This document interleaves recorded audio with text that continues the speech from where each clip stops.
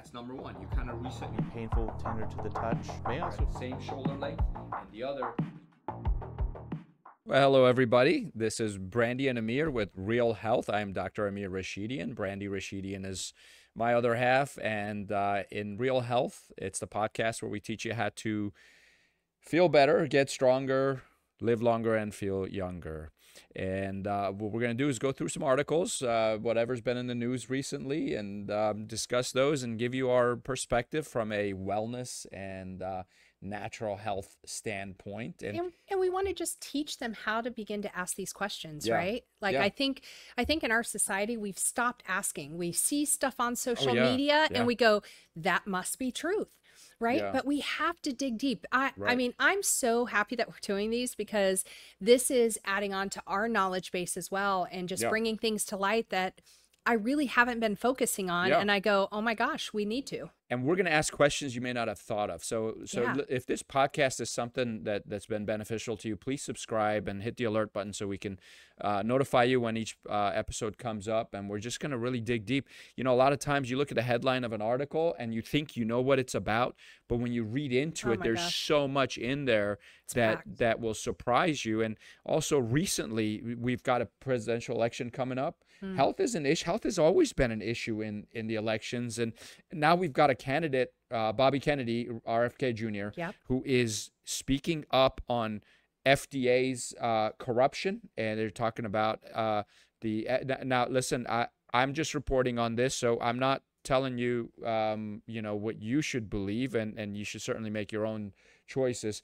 But he he's revealing some information uh, and data that we didn't. He was recently on the Megyn Kelly show, mm-hmm. which uh, I I didn't get through the whole thing. It's it's a four hour interview, but the parts I did listen to were. Um, pretty eye opening. Yeah. And in fact, I think of all the people who have interviewed Bobby Kennedy, Megyn Kelly was the only one I saw that actually pushed back in a powerful way when it comes to um, challenging what he's talking about. And she had evidence that contradicts what he was saying, which which I thought was and if we get time for it, we can certainly discuss some of but that. But that's how but it's supposed to be. It should be like that. I don't right? I don't want to be around people who always agree with me. I know. It's ridiculous. I mean, then what am, what am I going to learn? Uh, and and you guys too. Like if you disagree with what we tell you or or um, something we say that you want to inform us on something or tell us to discuss something else, comment down below and just tell us. Just be like, yeah. "Hey, I think you're wrong about this and that. Look at this article. We'll pull up suggest articles. We'll pull it up we'll discuss it on the podcast. Social media, I think, has actually been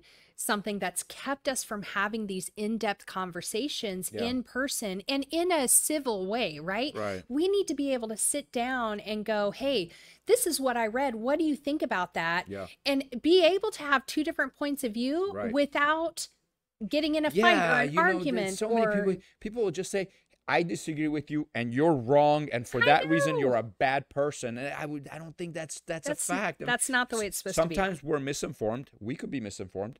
100%. Sometimes we've been exposed to only half the argument, not the other half. We really should discuss it. Absolutely. So let's dig, dig right in. Here's the first article. It's called Alzheimer treatment. I'll say the drug name. Forgive me if I say it wrong. Leqembi mm-hmm. uh, gets full FDA approval. What do you need to know? So uh, the highlights of the article are a new Alzheimer's drug, lecanemab, has received approval from federal regulators. The approval comes after the medication showed promise in slowing cognitive decline in phase three clinical trial. So I don't know how many phases there are, but I think phase three is pretty far along. Yeah, you know, that means they've done multiple trials, and and um, so uh, I don't know if this FDA it says full FDA approval, which means I don't I probably going to get become a drug and get released. Um, but it says there are uh, reports that three people died while taking the drug during the trial. Some experts have said lecanemab may simply reduce symptoms and not improve brain function. Well, when it comes to Alzheimer's, you, you know, it, such it, a tough disease, I, man, for, and, first, and, there's so many people who suffer from it. I mean, yeah. you're talking about millions of people right now yeah. that are suffering from dementia or Alzheimer's, and we don't know yeah. as much as we know. We don't know a lot, a right? close friend of mine, his mother was just diagnosed with it, and he's going through a lot of um, stress. He's he's uh, a chiropractor down in Louisiana. You know, I used to work in a locked Alzheimer's unit. I don't That's know right. if you remember that. I that do. was pre you, um, but man, that that was that was eye opening oh, just yeah. to be there. Of course, I can imagine.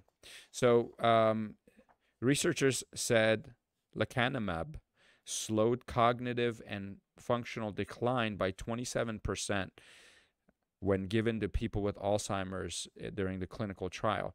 However, the uh, journal Science reported in late December that three people died while taking the drug during the clinical trial. The journal reports that the third death was a 79 year old Florida woman who died in mid September after developing brain swelling and bleeding. So uh, it, it, sounds a little scary, but yeah. Uh, we don't have enough information. Uh, we don't know if she had. I, I, assume when they select people for these clinical trials, they screen them and make sure they don't have pre-existing issues and things like that. But um, anyways, uh, eh, there's a lot to it, and and just to make sure that we don't confuse anyone, uh, Leqembi is the brand name of lecanemab or lecanemab, whatever the uh, exact pronounce, uh, pronunciation is. Um, so it's it's the same. The uh, Leqembi is just the brand name of that. Um, now, I I did find it interesting when re- reading through, and I would really encourage you guys um, to to grab this article and read it. Um, because um, I would encourage you guys to to pull this up and read it um, because when they do these trials, they also have to have you know a control group and they have to do a placebo and all of that, right? That's part of the the whole process. And honestly, the placebo got really great results um, at, at, the up to the 18, 18 month mark, I believe it was. So it, can you explain what a placebo is for the, some individuals who may not understand what that is? Yeah, bottom line, placebo is a fake drug. It's usually a sugar pill or a salt pill. It's probably sugar uh, pill that they take. They tell them this drug may have a positive effect on you. They're not telling them that it's a fake drug. They, they just say, hey, this may or may not be the real drug. We're going to give it to you and see if we get positive results. In fact, Harvard University School of Public Health and uh, I, I believe School of Public Health and Medical School uh, have done has done a lot of research on placebo, and uh, they've published a lot of positive information. In fact, there was a chiropractor who passed away a few years ago. His name was Fred Bartsch. He mm-hmm. said the mm-hmm. placebo is the only drug that has withstood the test of time. no side effects whatsoever, and yet it seems to work. It works. Yeah. So Harvard uh, uh Medical School proved that it works. And so they, they've done multiple studies. The last study they did, they actually told the patient that this is a placebo. So they said, We're giving you a sugar pill, but in some cases, it's been shown to have a positive effect on people. So the pe- person taking it knew it's a fake pill, it's a sugar pill, and is not going to have any effect on it. And they still got a significant, clinically relevant positive result from that, even when the patient knew it was a placebo. So I wish we had an article that would we could put with this that talked about the mind body connection. I think we're going to have to find one. So we're going to ask Sean to help us do that. Be really okay. scouring because Sean is our producer.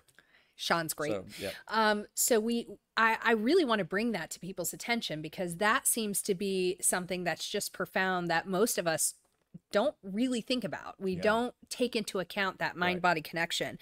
Now, they do say in this clinical trial, it said that the recent clinical trial was conducted at 235 sites in North America, Asia, and Europe between uh, March of 2019 and March of 2021. So we all know what was going on around that time, too. So so I'm just going to say that. Um, the study involved nearly 1,800 adults 50 to 90. All participants had some form of early dementia or Alzheimer's. Half of the participants were given uh, lecanemab or lecanemab, and the other half were given the placebo. Uh, researchers reported that there was a significant difference um, between uh, and placebo at the 12 uh, at 12 months, but at 18 months, it appeared the people taking uh, had uh, some clearance of amyloid and less uh, cognitive decline. The challenge is they still don't know if that's really what is causing the issues um, and the progression with Alzheimer's. They think that it has to do with that, right? Yep. And they're hoping removing those can create a better connection in, you know, the synapses in the brain. Um, the drug is actually a monoclonal antibody that that's uh, given through infusion therapy. Yeah. So, uh, you know, um, infusion therapy has been used now with uh, immunotherapy uh, for cancers and mm-hmm. so on. We've gotten good results with that as well. So, being an it's it's an antibody, I, I believe it targets the the plaques in the brain. They're called beta amyloid plaques. Mm-hmm. Now, you can't see those on any type of imaging. You can only see it on an autopsy after an Alzheimer's patient passes away. So that's why Alzheimer's is difficult to diagnose and treat, right? And, and, treat. Now, here's what we know about beta amyloid plaques: is people who don't sleep well develop a lot of beta amyloid plaques. Well, we we've talked a little bit in in prior podcasts about the importance of sleep and how deep REM sleep. Yeah, how that's so important to health. So it it it even affects this. I mean, the brain yeah. health, the brain is so complicated. It's such an amazing yeah. machine. Yeah. And we just I don't think we give it the nutrients and the right. food and and and there, the care there, that it There's needs. a great book called Why We Sleep. I think Matthew Walker is the author. Mm-hmm. I'm not sure. Um, uh, it's called Why We Sleep. And he talks about the research that shows that dreaming at night is what detoxifies the brain of these beta amyloid plaques. Right. Now, I I think I I could be wrong. Um, correct me if you if you read this as well, but I do think that this was one of the um, trials that was given like the expediency of kind of being pushed through. There's not as many trials and as many years that were required for this because there's only one other drug that was put on the market that is supposed to treat um, Alzheimer's, which I think it came out, I want to say in like 2019. Um, I'll have to go back and look. Um, but there was one other drug that did come out, um, and they do function very similarly. However, um, they don't believe the other drug has as many um, intense side effects as what we've seen in the trials with mm. uh, with this drug, which is a little disconcerting. Um, now, they are saying that already Medicare has decided to cover majority of the cost of this drug. Mm. Um, and they're assuming that patients will then be responsible right. for the 20% and they're going to cover 80%. And some of these medications, they're astronomical in cost. Astronomical. So I'd now, be interested now, to see what just, that is. don't quote me on this, but but in the past when I've studied things like how a drug gets approved and so on. I know that unfortunately it, it's not a third party that does the research mm-hmm. and the mm-hmm. clinical trials, it's the developers of the drug. And the FDA requires po- three positive trials initially to start the approval process. Now, that doesn't mean three consecutive positive trials. Correct. That doesn't mean that they just need to have, they need to do three and all three need to be positive. They could have done a 100 trials and 97 of them 97 of them could be negative results like three horrific. would show positive and they would only submit those three they won't show yeah. the other 97 obviously it's unfortunately it's it's a for-profit institution uh, mm-hmm. uh, and and their goal is to get it approved and also they pay a lot of money to the FDA to do this so the FDA also benefits from looking at these and and doing these clinical trials. Uh, so you know you, you really have to be careful personally. This is my personal opinion. Uh, I'm not speaking as a doctor mm-hmm. at this point right now. I'm just saying I personally would like to wait five years before I try any yeah. drug. Uh, because the the ultimate test is when it's out in the market. And there's been yeah. plenty of drugs. You can look this up where they it was approved and released and then 4 or 5 years later it was pulled from the market. Yes, there are there are many. Now let me let me go ahead and just touch on this too. Some hesitation uh, about uh uh lecanemab I think I say it different every time I say it. So, um, they were granted breakthrough therapy designation by the FDA in June of 2021. This status um, is designed to speed up the development of new drugs, uh, which is what you're saying, um, that will address medical needs and currently unmet uh, that are currently unmet for serious or life-threatening conditions. However, some scientists have expressed concern that the earlier phase two trials had flaws and that uh, the actual benefit of the drug um, to people could be limited. Mm. The phase 2B lecanemab uh, studies were fatally flawed can we just say that again? We're fatally flawed mm. because the high dose versus placebo analysis that were uh, supposedly that supposedly showed some clinical benefit were profoundly compromised. So, and this was from Dr. Uh, Michael uh, Greicius, um, a professor of neuro- neurology and neurologic sciences at Stanford. So, that's what he says. Um, so there's definitely some some issues. There's definitely some concerns about this drug. It's been released. Insurance is going to pay for it. I know with an Alzheimer's diagnosis, you're grasping because yeah. you're losing your loved one so quickly sometimes. Yeah. Um, so you know, I I don't know what we would, you know, placed in that situation. It's hard. Five yeah. years, waiting five years for something like that. Right. Five not, years not could when be your loved one is suffering and this is the only drug available out there. And exactly. Also, if it's the only treatment that's approved by insurance and uh, yeah, so I'm not going to tell you what to do or not to do. But I uh, will say there are other things holistically that you can do to always improve brain function in anyone. And um, so making sure that there are things that are feeding the brain well, supplementation, I'll give you, food. I'll give you three big ones. Fish oil? Well, yeah, supplementation it would be like the fourth one. But number one is sleep, mm-hmm. proper sleep, not medically induced sleep. Right. Sleep aids prevent deep REM sleep, so you, so you sleep through the night, but you don't deep REM and you don't dream, which the beta amyloid plaques don't get cleared out. Right. Sleep, powerful deep sleep, number one. Second one is exercise very very important. You exercise once uh, it could be as easy as 30 minutes of brisk walking every day. And then once a week you lift some weights for 15 minutes you know right. 20 minutes. And then the third one just as important is sugar.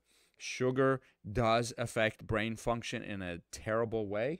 Insulin fluctuations if you have uh, abnormal sugar handling, you have to figure it out, even if it means you go on a ketogenic diet temporarily to clear out things and then start to reintroduce carbohydrates slowly. I don't think we should go without carbohydrates permanently or indefinitely. I know experts, there are some experts who say you could stay on a ketogenic diet for the rest of your life. Personally, I don't believe that and I don't like it. I think carbohydrates, uh, the reason it has hydrate after it is because one of the things carbohydrates do is it helps pull water into your muscles and right. tissues. And so I, I really think um, those three are the main ones. And then obviously there's fish oil. There's a uh, fish oil is uh, omega 3s are divided into EPA and DHA.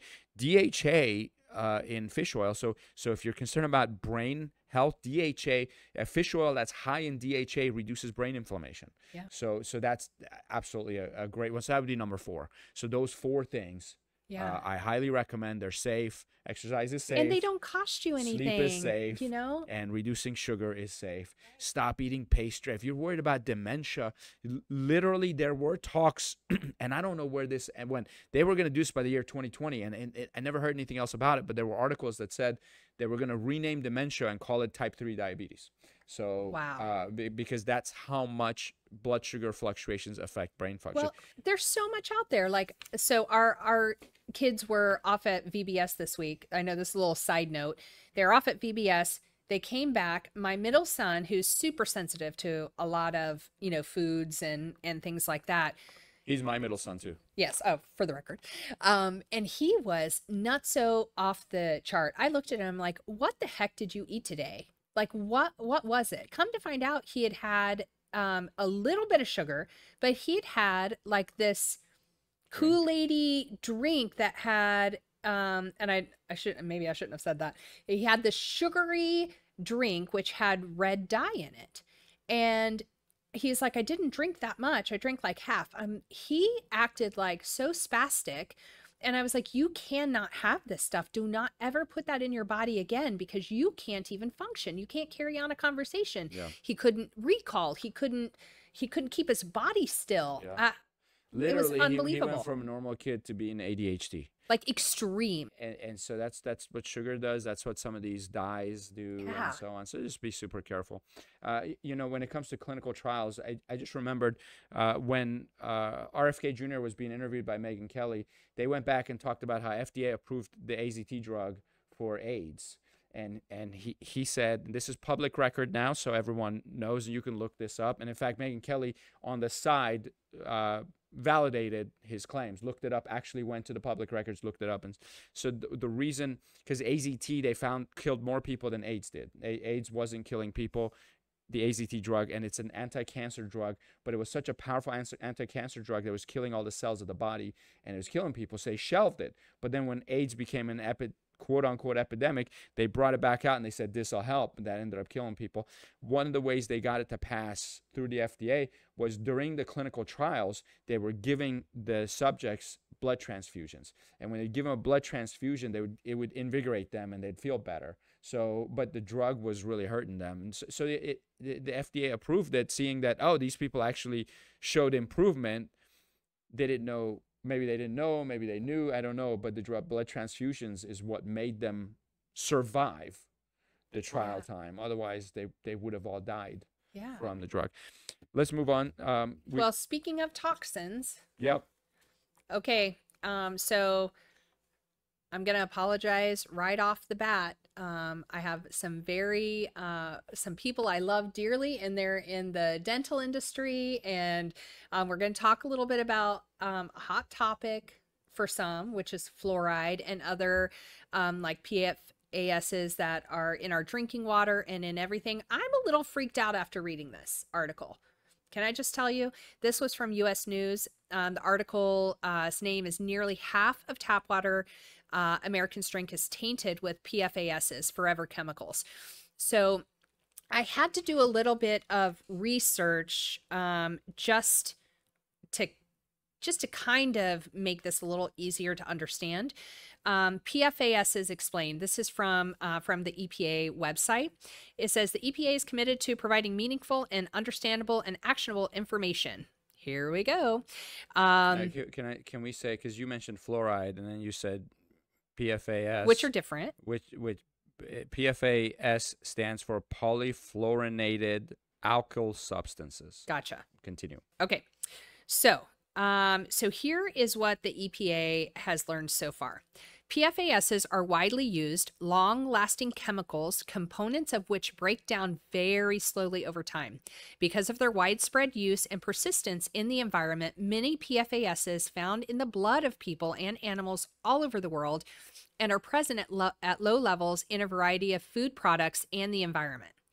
Um, I would like to know and have people quantify for me what low levels are. Because to me, when I'm reading how dangerous PFASs are, you don't want it at any level, even low, even low doses. PFAS, uh, PFAS um, products are found in water, air, fish, and soil at locations across the nation and the globe. Scientific studies have shown that exposure to some PFASs in the environment may be linked to harmful health effects in uh, health and in humans and animals. There are a thousand of PFAS uh, chemicals, and they are found in many different consumer and commercial and industrial products. This makes it challenging to study and assess um, the potential human health and environmental effects. It's even in carpet and clothing. Mm-hmm. That's nuts. So, so the carpet that we purchase to put in our homes that we allow our children and our infants to crawl on, nuts. I'm I'm not happy about this. Yeah, yeah, and uh, you know one of the things it does is it, it causes hormone suppression, which um, I, I've looked at a lot in men. They say that the average man today has maybe half the testosterone levels than a man did a hundred years ago. The average man, there's like across the board, we have half the testosterone we had it 100 years ago. Uh, and women, most generally, we the amount of estrogen that we should ever take into our body would mm-hmm. fit on the back of our thumbnail but food that we eat um, birth control pills ugh, all of this elevates our estrogen yeah. so greatly which is our stressor hormone and women need to have testosterone as well and and reduced testosterone in women is very detrimental as well yeah i mean here we have an astronomical rate of infertility and cancers and all yeah. of these things. And I've never been one that I go, that's so surprising because we know the toxic load that yeah. that most of us have. But I I will say even as much as I feel like we know, I was like I'm so in the dark. Yeah. And now I'm well, a little more freaked. It's so amazing. I mean, it's it's a list of the top killers. There's, the P, PF, PFASs uh, cause cancer, mm-hmm. one of the biggest Huge. killers. Heart disease, uh, which is obesity and cholesterol increase, thyroid disease, uh, liver, liver damage, damage, yeah, hormone suppression, fertility. I mean, fertility centers are popping up everywhere. It's like one of the biggest industries, billions of dollars being spent on fertility. Yeah. It used to be people were worried about not getting pregnant, you, you know, and it, now people can't get pregnant. Yeah. So um, it says there's been almost no place scientists have looked where they have not found PFAS uh, uh, says toxicologist uh, Jamie DeWitt. Um, so that's what he told CNN, uh, or she told CNN. Uh, she's a professor of pharmacology and toxicology at East Carolina University in Greenville, North Carolina. Greenville, North Carolina. Um, to gauge the impact on drinking water, a team led by uh, Kelly Smalling of USGS used water samples collected between 2016 and 2021 from 269 this made me so sad. Private wells and 447 uh, public sources. Their models suggest over 45% of U.S. drinking water samples have at least one PFAS chemical. Um, and let's see, uh, developed by the USGS, um, can also test for 32 compounds out of the 12,000 that exist. So we have over 12,000 PFASs that exist in the world. We can't test for majority of them I mean, they're talking about eh, we can only we can only test for like 32 compounds out of 12,000, not 1200, 12,000. Yeah. So uh, and here's what got me and this is what made me say this freaked me out or made me a little nervous is that this is not just public water. We already know that they infuse the water with things. We know that, um, you know, people flushing you know pharmaceuticals down the toilet other things to get into the the drinking water right?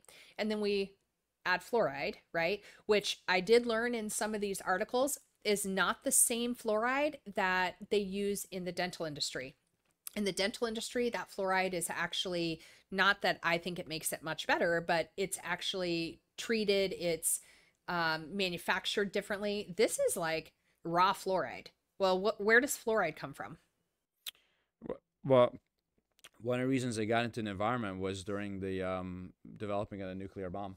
Yeah. What was it? The Manhattan Project.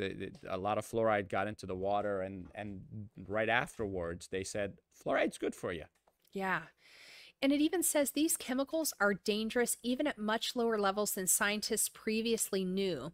Uh, and that's what the EPA said in June of 22. So just last year, they're like, yeah, we didn't think it was nearly as bad. Low doses, also bad. But then let's talk about this because is it legal? It sure is in Maryland. Actually, majority of the states right now, it's still legal to for manufacturers to be using PFASs, for them to be putting it in the carpets or using the chemical compounds to make that. There's only about five five or six states that have even begun to outlaw that, which is crazy. So we know it's a detriment to our health. Like we know it's killing people. I think I saw. Did you mention this already? Ninety-eight percent of people have some type of PFASs in their body. That was that was somewhere in the article. Yeah. uh, yep.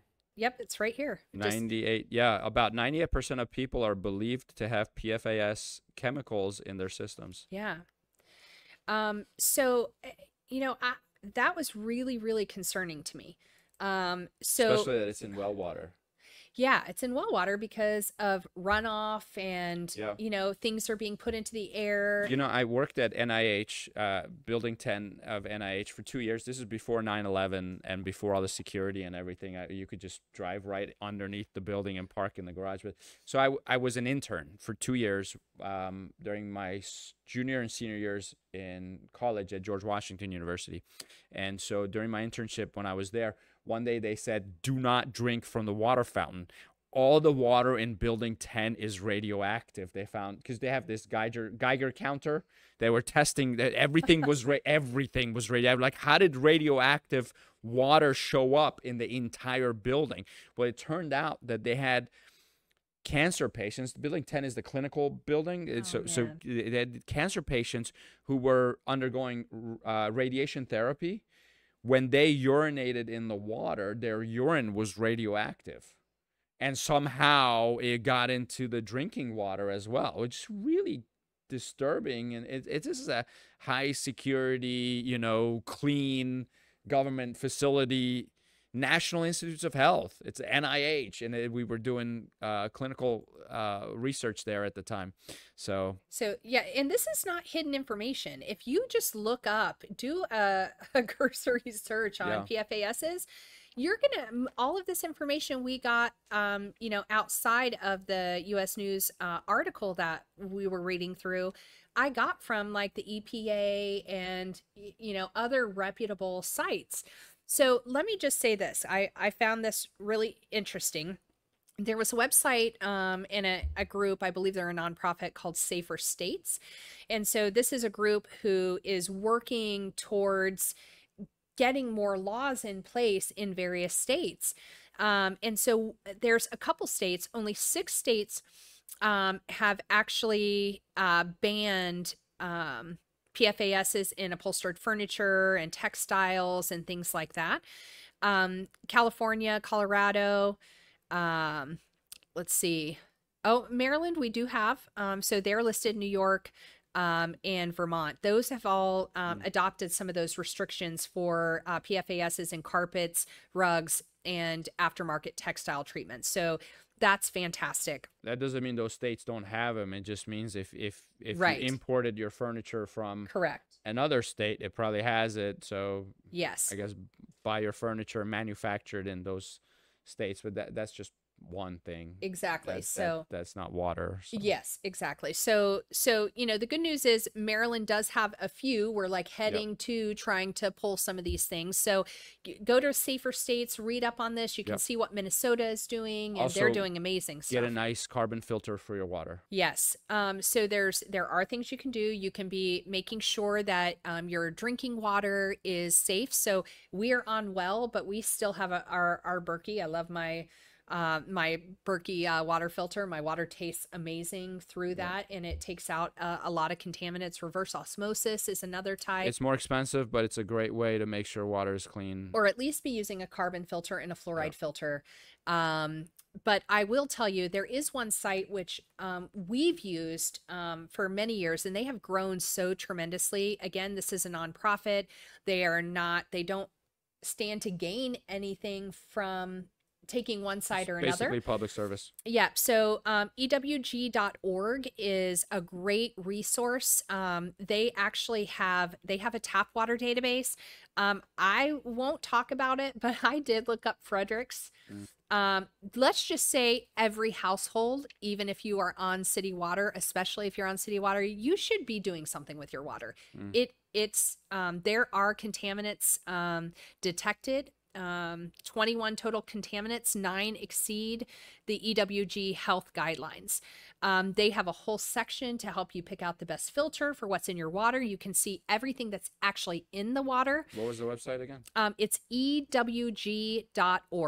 So ewg.org has, you can go through and see every single chemical that's in all of our household cosmetics, household cleaners, I was blown away when I first started using this site, and we took out so many toxic things out of our household just Even to suntan lotion. If it's summertime, you're spending time by the oh pool or at the beach. There's you know? so few that actually are not carcinogenic. Whatever product you're using, go to this website, look it up, see if there's there's problems in it. Um, th- a book came out years ago, 20 years ago now, I think it was a, called Dark Deception that that showed that certain sunscreens cause more skin cancer than the sun. Right.